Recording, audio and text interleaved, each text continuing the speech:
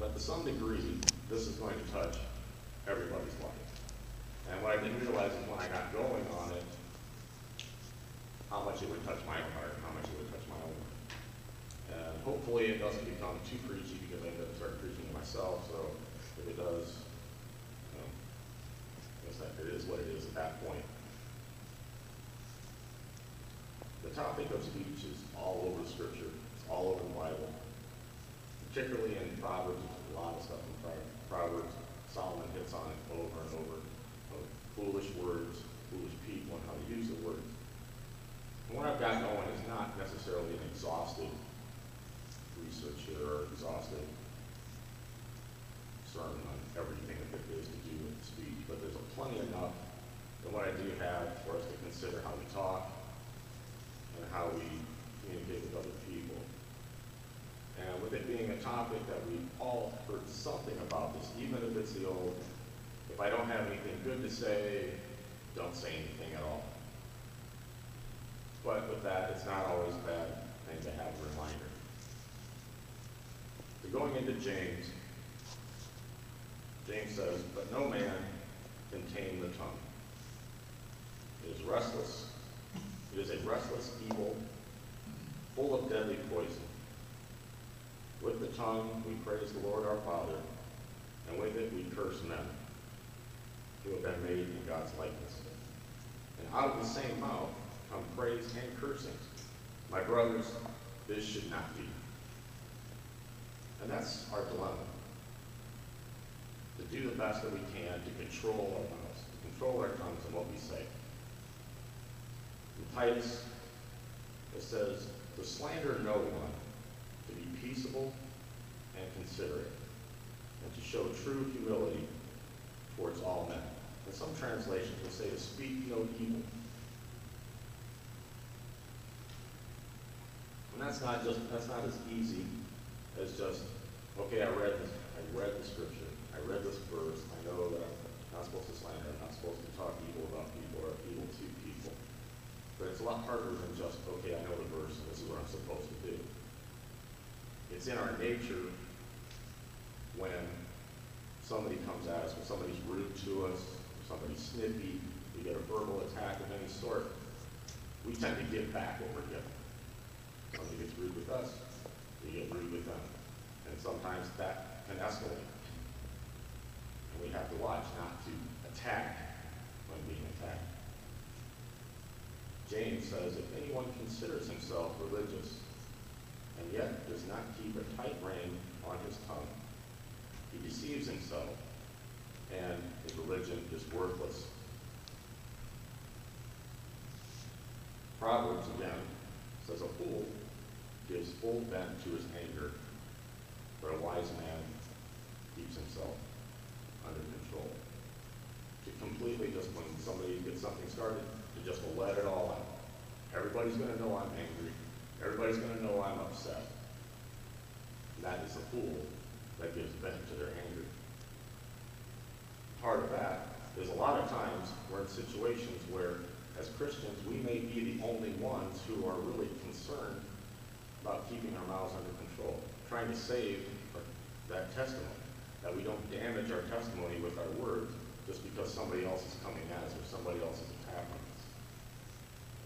But we have to keep a hold that same verse that there is life and death in our words. And it's not always just what we say, how we say it, our tone, body language all factor into this as well. You can say the sweetest thing, but your tone can still set off, set off a fight. Now, an article from the Women and Children's Health Network states that small children can feel or they can sense anger. And as a result, children can become fearful. Verbal abuse, such as name calling, demeaning language, causes hopelessness, helplessness, a feeling of inferiority, causes anxiety, low self-esteem, a lack of confidence, and can cause depression. And this is also true uh, in adults. And can cause the same emotional issues. Critical and angry words damage and scar. Especially when they come from someone who should be trusted. Someone that we would feel loves us, which is a parent or a spouse or some other close family member. In a 2015 study by the CDC, says that one out of every three teens has been verbally abused or bullied in one way or another, whether it's face-to-face, but usually by texting or some form of social media.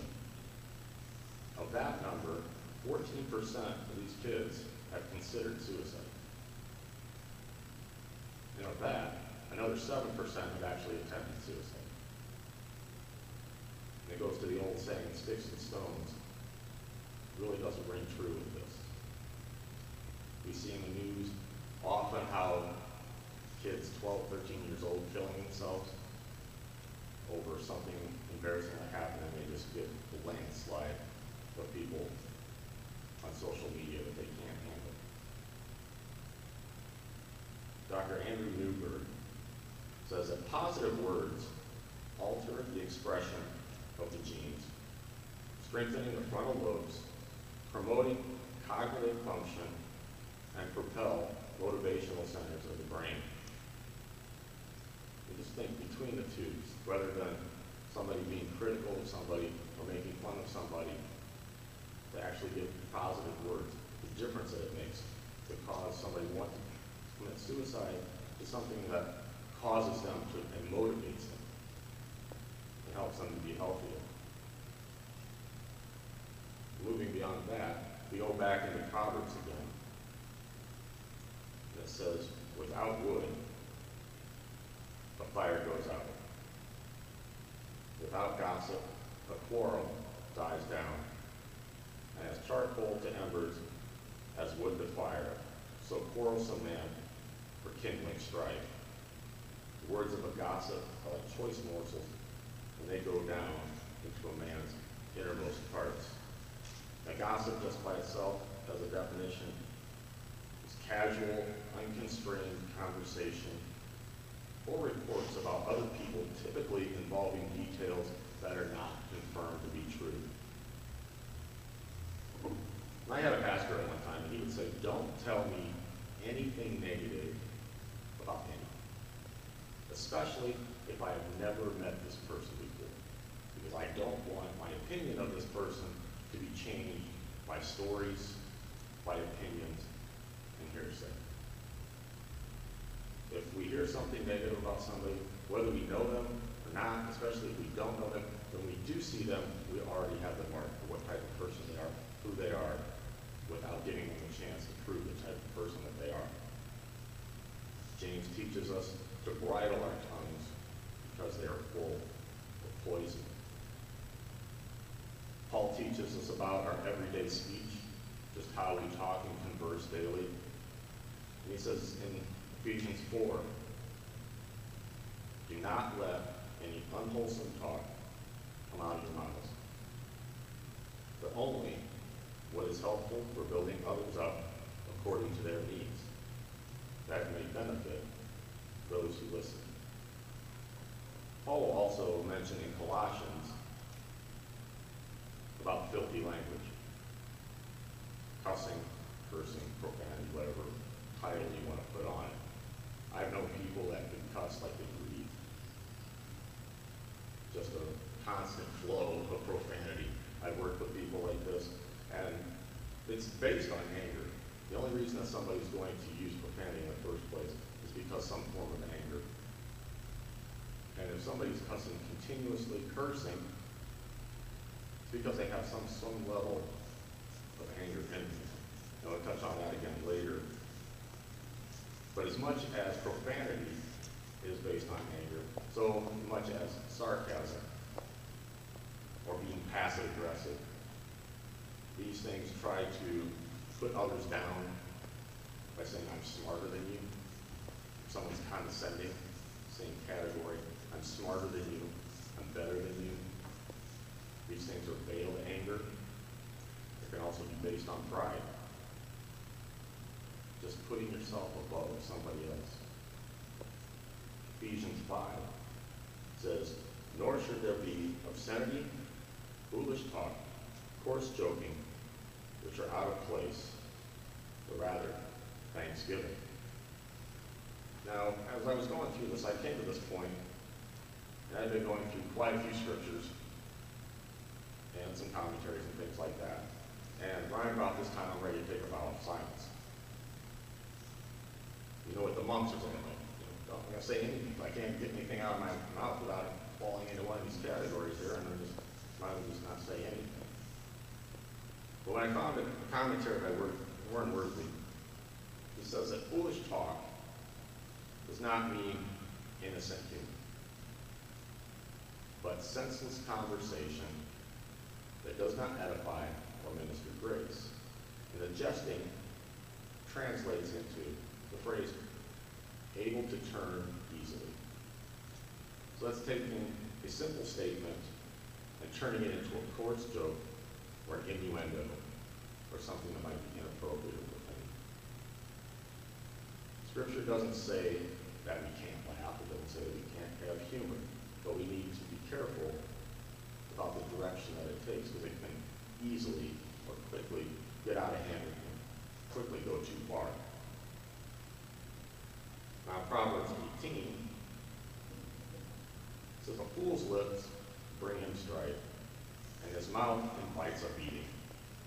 I'm not advocating anything here, but if anybody gets into trouble as they're being arrested for beating somebody, you can cite Proverbs 18, might help you out with a lot. You guys out there?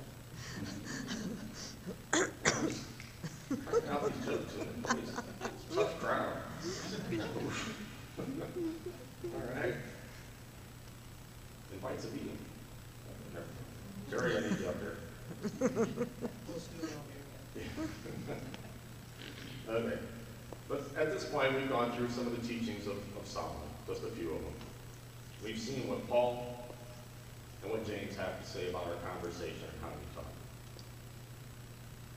Now to what Jesus has to say about this. Jesus says in Matthew 12, the good man brings good things out of the good that is stored up in him. And an evil man brings evil things out of the evil that is stored up in him. But I tell you that men will have to give an account on the day of judgment for every careless word they have spoken. For by your words you will be acquitted, and by your words you will be condemned. Jesus is telling us that what is us, what is in our hearts, comes out in our words. What we say, our intent when we say things, this is going to come out as we speak. What is in our hearts? Words we says, the sin of the tongue is the sin of the heart. And we will be acquitted or condemned by our words. Our speech tells the world who we are. Speech tells the world what's in our hearts. Are we negative? Are we angry? Do we look for the worst in things? Do we tear, tear people down? Do we always want to have that negative pull on everything? Stirring, stirring up trouble? Making fun of people? Or do we speak life? Are we building people? Are we being constructive? If we have criticism, is it a construct, constructive criticism? We speak with love? We look for the good in people rather than whatever's negative? negative? Now, years ago, I would have, given the choice, I would have said, these people are just too happy. I can't be around people that are that happy all the time. And the older I get, the negativity, the anger, it's just exhausting. To be around somebody that's around somebody who can't find the good in anything. They're the ones that when you say, I won the million dollar lottery, they're gonna say, you're gonna have to pay three hundred thousand dollars in taxes. Give me my money, give me my wins. Don't tell me about the bad part about it. I'm happy with the seven hundred thousand. I'm not gonna squabble over that, take it. Just let me be happy for that moment, instead of kicking me in the shin when something good happens. I would rather be around now, as I get older, I would much rather be around somebody that's up, upbeat, somebody that's looking for the good. It's much easier to be around. Not making fun of people, not tearing people down. And I know it's very hard to control what we say sometimes, especially when we're in a work situation and we really can't control what we're around. But part of controlling what comes out of us is what's going in. Garbage in, garbage out. Man, it'd be real easy to go off on a rant right now on the TV, the movies, music, negative people that you end up being around. There's just so many things that are just wearing on us. If you took a TV censor from the fifties or sixties and let them watch anything on TV now, they'd probably pass out. I don't even know if they have censors on TV anymore. So, eh, go ahead, whatever you like. And these things, this is what we see. You turn on the TV, you're gonna get something like this. Any type of show you kind of get, they're trying to weasel it in on you, they're trying to desensitize us to all these things. And it just wears and it wears. The movies are worse than the TV shows. The music. Now, being around, I used to listen, well, I used to listen to a lot of really heavy, dark music. And being, teaching guitar for twenty-five some years, from what I've watched as an evolution of music and what the kids bring in. It used to be aggressive music with some lyrics. And then the next few years, you'd have to get somebody that was a more aggressive music, and the lyrics now are more aggressive. And it was just this over and over and over again, to where it's just this really dark, angry music that people were bringing into. Where the people just, this, the, the vocals are more or less just screaming. I actually had a kid bring me in a video on, they actually call it growling, growl scream. And they teach you how to do that, how you push from your gut, and you hold the mic the right way, it gives us uh, a type thing. And when I listen to it's just like, I'm not that angry anymore. I've tried to listen to some of the music that I used to listen to when I was a kid, and it's like, wow, I can't get through this, I'm just not that angry anymore. And I usually keep it under control pretty well. But this kid brought something in, it was just this growling, screaming, just uh, in your face, and was, I, I actually laughed. I LOL at this kid, right? It's just, this guy is so angry, and he's so serious about what he's angry about, it's just, it's, well, it's sad, but it's, it's amusing at the same time. It's like, boy, somebody had a bad afternoon. But it just, that anger just grows on itself, and it grows on itself, and it just gets larger and larger, gets bigger and bigger, and it just spills out to where it's just like screaming. And that's how our lives go. We let ourselves be around negative people. We let ourselves be around the TV, the movies, all of these things that just are battling against the Spirit of God, battling about against what is righteous. And if we allow this into our lives, even with the best intentions, this wears and wears. If you see this, this is what comes in, and this is what comes back out. We need to remember the words of Jesus. What comes in is what's going to come back out. What is in our hearts is going to come out in our intent, in our words, in our speech. And by that, we will be condemned. Or we will be acquitted. Let's Pray. We come into this time of communion, we ask you to touch our hearts. Help us to consider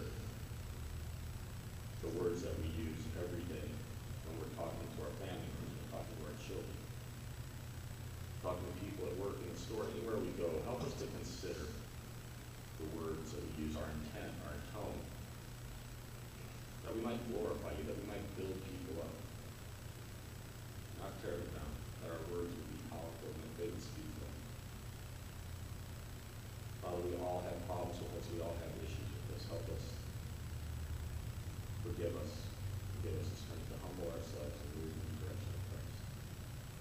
We With that, in Jesus' name we pray.